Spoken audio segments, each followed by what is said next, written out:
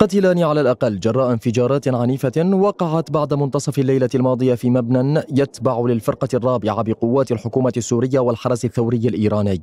في قرى الأسد بريف دمشق الغربي بحسب المرصد السوري لحقوق الإنسان.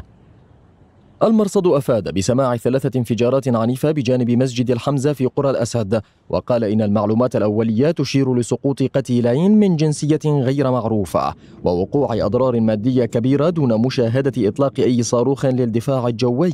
وذلك في إشارة إلى أن الانفجارات قد تكون ناجمة عن هجوم إسرائيلي كما هو معتاد.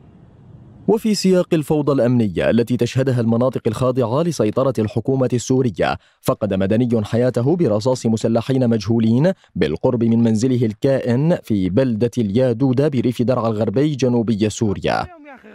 استهداف رفع حصيلة القتلى من مدنيين وعسكريين في درعا إلى أكثر من 310 أشخاص منذ بداية العام الجاري خلال ما يقارب 390 واقعة فلتان أمني من اغتيالات وتفجيرات وهجمات مسلحة.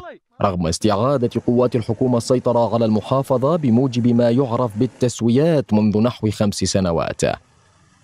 أما في محافظة حماة الخاضعة أيضا لسيطرة قوات الحكومة فقد أقدم ضابط على قتل طليقته ووالديها بمهاجمتهم داخل منزلهم في قرية حوارات عمورين مستخدما سلاحا فرديا وقنبلة أدت إلى إصابته إصابة بليغة فارق على إثرها الحياة.